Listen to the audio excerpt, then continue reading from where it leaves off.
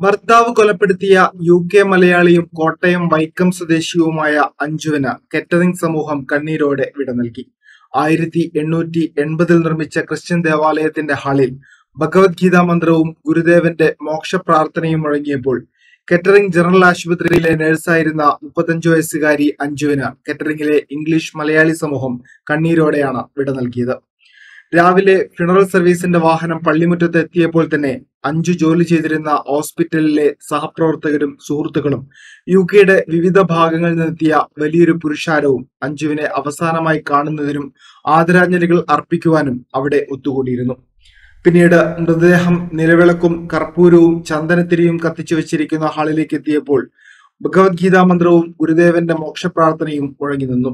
ഹിന്ദു ആചാരപ്രകാരമുള്ള എല്ലാ പ്രാർത്ഥനകളും ചൊല്ലിക്കൊണ്ടാണ് പൊതുദർശനം നടന്നത്. അഞ്ജുവിന്റെ കൂടെ ജോലി ചെയ്തിരുന്ന ഇംഗ്ലീഷ് നഴ്സുമാരും ഡോക്ടർമാരും ഹോസ്പിറ്റൽ ഭരണാധികാരികളും റോസാ പുഷ്പങ്ങളുമായി വന്ന അന്ത്യാഭിചാരം അർപ്പിച്ചു കടന്നുപോയി. കുട്ടികളുടെ ജീവനറ്റ ശരീരം കൊണ്ടുവന്നാൽ തങ്ങൾക്ക് കാണാൻ വിഷമമാണെന്ന് ഇംഗ്ലീഷ് സുഹൃത്തുക്കൾ അറിയിച്ചതുകൊണ്ട് കുട്ടികളുടെ മൃതദേഹം പുതുവർഷത്തിന് കൊണ്ടുവന്നിരുന്നില്ല. ആദരാഞ്ജലികൾ അർപ്പിച്ചുകൊണ്ട് ഹോസ്പിറ്റലിലെ ഹിന്ദു ക്രിസ്ത്യൻ മുസ്ലിം ചാപ്ലിന്മാരും സാമൂഹ്യ പ്രവർത്തകനായ Sugathan Thekkepura Kettering Malayali cultural welfare association secretary Arun Sebastian father Ebin എന്നിവർ സംസാരിച്ചു.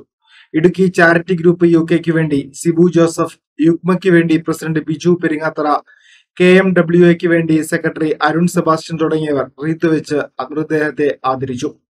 പൊതുദർശനത്തിന്റെ ക്രമീകരണങ്ങൾ നടത്തിയിരുന്നത് Kettering Malayali cultural welfare association ആയിരുന്നു.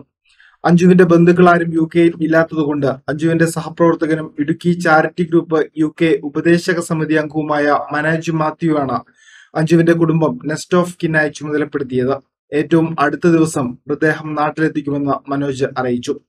അഞ്ജുവിന്റെ കുടുംബത്തെ സഹായിക്കാൻ കെറ്ററിംഗ് മലയാളി വെൽഫെയർ അസോസിയേഷനും യുഗ്മയും കൂടി മുപ്പത്തിരണ്ട് ലക്ഷം രൂപ സ്വരൂപിച്ചിട്ടുണ്ട്. ഈ പണം ഏറ്റവും അടുത്ത ദിവസം അഞ്ജുവിന്റെ കുടുംബത്തിന് കൈമാറുമെന്ന് അസോസിയേഷൻ ഭാരവാഹികൾ അറിയിച്ചു.